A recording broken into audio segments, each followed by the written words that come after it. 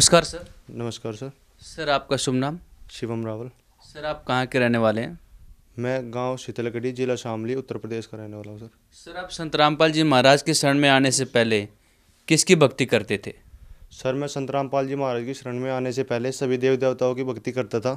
ब्रह्मा विष्णु महेश। वैसे मैं ज़्यादा महत्व हनुमान जी को देता था। जैसे कि आपने बताया कि देवी देवता की पूजा करता था, हनुमान जी की पूजा करता था।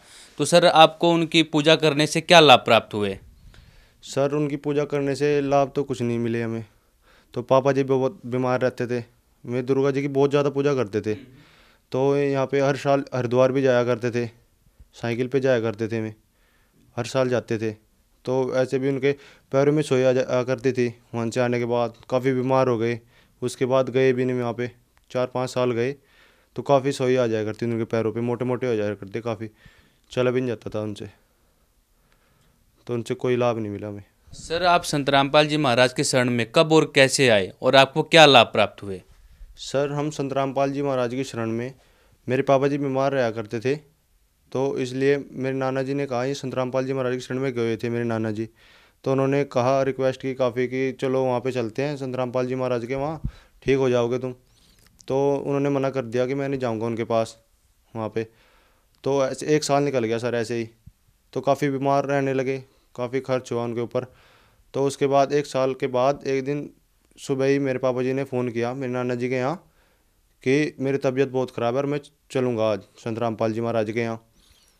तो सर उस दिन सुबह मेरी नानी जी आ गई वहाँ पे घर और उनके साथ चले गए संत रामपाल जी महाराज के आश्रम बरवाड़ा। तो तब एक महीना हो गया था मेरे पापा जी को खाना खाए हुए। जब आश्रम गए, वो चल भी नहीं पाते थे। काफ़ी सोई आ जाती थी पैरों में जब चलते थे। बुखार काफ़ी था, हार्ट पेशेंट थे। तीन चार बार अटैक आ गया उन्हें अब तक। जबकि तीन बार अटैक आता है आदमी को लास्ट स्टेज होती है तीसरी बार। चार बार अटैक आया मेरे पापा जी को। एक बार पहले आ गया था, तीन बार उसके बाद आया। तो जैसे आश्रम में गए, नाम दीक्षा ली गुरु जी ने आशीर्वाद दिया तो उन्होंने काफ़ी हल्का महसूस किया। खाना खाया। एक महीना हो गया था मेरे पापा जी को खाना खाए हुए। चार रोटी खाई मेरे पापा जी ने वहाँ पे आश्रम में। जैसे कि अभी आपने बताया कि पहले आप देवी देवताओं की पूजा करते थे फिर संत रामपाल जी के शरण में गए। तो आपको कैसा लगा? जो आपके पिताजी बिल्कुल अस्वस्थ थे बिल्कुल उन्होंने एक महीने से खाना ही नहीं खाया था जैसे कि अभी आपने बताया। तो आप लोगों को कैसा लगा वहाँ पर? सर मेरी मम्मी जी गई हुई थी मेरे पापा जी के साथ।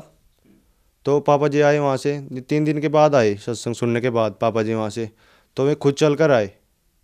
तो हमने देखा, घर पे थे कि खुद चल कर आए, भाई, आराम मिला है, कुछ तो है वहाँ पे, जो मतलब कभी डॉक्टरों के पास दिखा चुके थे, एक डेढ़ साल हो गया था हमें। बहुत पैसा खर्च हो गया था उनके ऊपर। तो उसके बाद लगा कि हाँ कुछ है, और उसके बाद एक दिन मैं खेत में ट्वेल्व से वायर लगाई हुई थी लाइट के लिए तो उसको हाथ में लपेटा हुआ था मैंने कनेक्शन कट करके ट्वेल्व से। तो मैं उसको लेके आ रहा था तो पीछे से किसी ने कनेक्शन कर दिया। तो उसमें आग लग गई वायर में, सारी जल गई बिल्कुल। जो उसमें कट थे बहुत ज़्यादा वायर में, मेरे हाथ से टच थे सब। तो संतराम पाल जी महाराज के दया से मुझे खरोंच भी नहीं आई, बिल्कुल भी। और वायर सारी जल गई थी वो, बिल्कुल। मेरी सिस्टर है, शादी हुई है उनकी। तो उनको वैसी प्रॉब्लम थी ये भूत प्रेतों से की। तो काफ़ी तंग थे मैं उससे। मैंने काफ़ी शानों के पास, मौलवियों के पास, इनके सबके पास घूम चुके थे।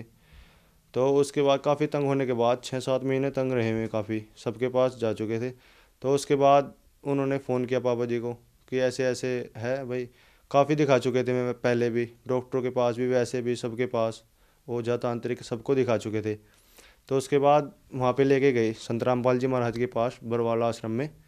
तो संत रामपाल जी महाराज ने आशीर्वाद दिया, नाम दीक्षा ली, वो ठीक हो गई बिल्कुल। आपने बताया कि आपकी बहन का नाम लेने मात्र से ही जो भूत प्रेत की बाधा थी आप लोग बहुत परेशान थे। कई सियाने सप्टों के पास गए थे हर एक कई तांत्रिकों के पास गए थे लेकिन फिर भी आप लोग को दुख से छुटकारा नहीं मिल पाया था। तो हम आपसे ये जानना चाहते हैं क्या संत रामपाल जी महाराज कोई जड़ी बूटी देते हैं कोई दवाई देते हैं? नहीं सर संत रामपाल जी महाराज कोई जड़ी बूटी नहीं देते वे सिर्फ़ सच्चा ज्ञान देते हैं। उनके नाम में इतनी शक्ति है कि सब दुख दूर हो जाते हैं। सर आप जन समुदाय को क्या संदेश देना चाहते हैं? सर मैं यही विनती करना चाहता हूँ कि जैसे हमारे ऊपर दुखों के पार टूटे हुए थे और संत रामपाल जी महाराज की शरण में जाने के बाद हमें लाभ हुआ और ये संत संत रामपाल जी महाराज की शरण में आए और संत रामपाल जी महाराज से नाम दीक्षा लें। सर अभी आपने संत रामपाल जी के शरण में आने के लिए कहा लेकिन संत रामपाल जी महाराज अभी जेल में हैं। तो कोई भी संत रामपाल जी महाराज से जुड़ना चाहे तो कैसे जुड़ सकता है? सर संत रामपाल जी महाराज से जुड़ने के लिए शाम के टाइम साधना चैनल पर सात चालीस से आठ चालीस पे सत्संग आता है। तो उस पर नीचे डिस्प्ले होती है नंबर पीली पट्टी पर। तो नंबर पर संपर्क करें और अपने नज़दीकी नाम दाम सेंटर खुले हुए हैं नाम दीक्षा के लिए। उन पे आके नाम दीक्षा लें। थैंक यू सर धन्यवाद। सत्सा है